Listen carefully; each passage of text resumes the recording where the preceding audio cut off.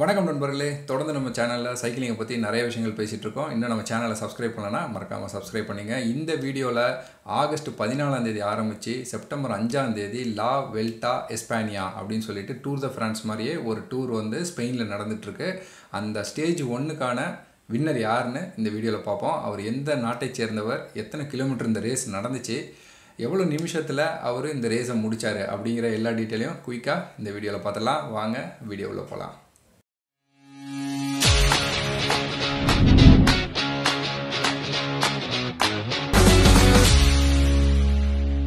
க்கு பஞ்சம் இல்லாமல் நடந்து முடிஞ்ச ஸ்டேஜ் ஒன்னோட வெற்றியாளர் வந்து ஸ்லோவேனியா நாட்டைச் சேர்ந்த ரோக்லிக். இந்த போட்டிக்கான தூரம் வந்து ஏழு புள்ளி ஒரு கிலோமீட்ரு இது வந்து ஒரு இண்டிவிஜுவல் டைம் ட்ரையல் அப்படின்னு சொல்லுவோம் இந்த டைப் ஆஃப் ரேஸை இந்த ரேஸில் டீம் ஜம்போ விஷ்மாவை சேர்ந்த ரோக்லிக் தான் ஜெயிச்சார். இவர் ஓட்டிட்டு வந்த சைக்கிளோட பிராண்ட் நேம் வந்து சர்வேலோ. இவர் இந்த ரேஸுக்கான எடுத்துக்கிட்ட டைம் வந்து எயிட் மினிட் தேர்ட்டி டூ செகண்ட்ஸில் இந்த செவன் பாயிண்ட் ஒன் கிலோமீட்டரை கடந்து வெற்றி வாகை சூடினார். ஸ்டேஜ் டூவோட ரிசல்ட்டோட நாளைக்கு நான் உங்களை சந்திக்கிறேன். Until then stay home stay safe bye take care நண்பர்களே.